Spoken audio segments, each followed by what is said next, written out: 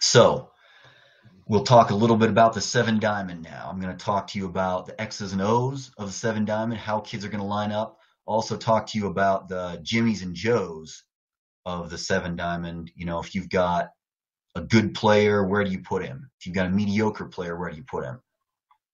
Things of that nature. Onward. All right. This is what the seven diamond looks like. This is your basic seven diamond.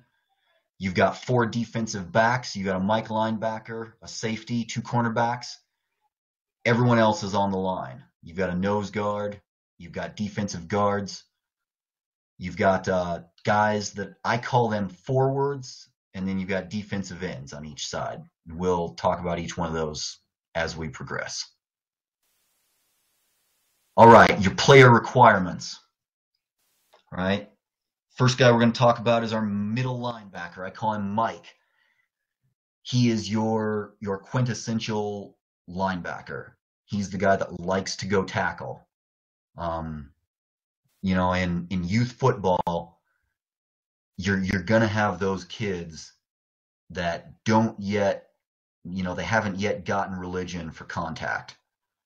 They're uh, they're they're not really excited about it. Then you're gonna have the kids that they were born for this.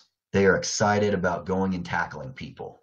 They are excited about putting pads on pads and tackling the guy with the ball.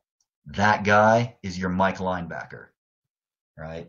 And you want him to be aggressive. You want him to be someone that chases that running back down and brings him down. He doesn't necessarily have to be the fastest guy in your team or the strongest guy in your team, Ideally, he is the most aggressive guy on your team.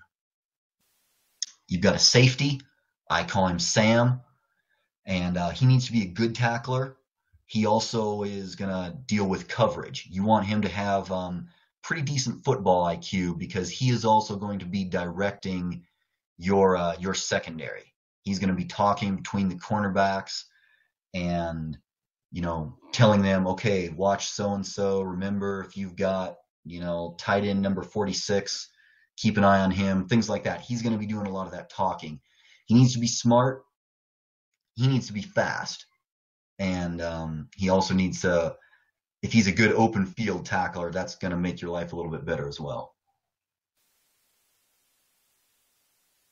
Your nose, yeah, I'm common nose guard, common nose tackle, whatever you like. He's the guy in the middle ideally he's strong and he needs to be obedient. Right? You guys have seen it, you've heard it before. When your defensive linemen stand straight up, they will get owned. They will get beat by smaller kids. That's why this kid needs to be trainable. I don't care how big he is. He will not be successful if he does not stay low and does not do what you tell him to.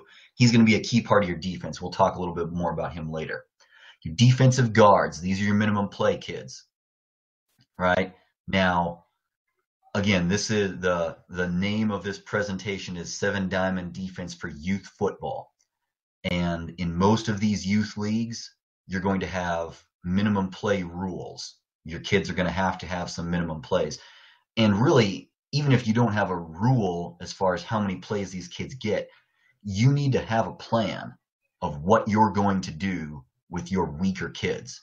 If you don't have a plan for them, if your plan is sit them on the bench and hope they don't come back next year, then I've got news for you. And the news is that you are not a very good coach. You need to get better, and you need to get better by using all of your resources.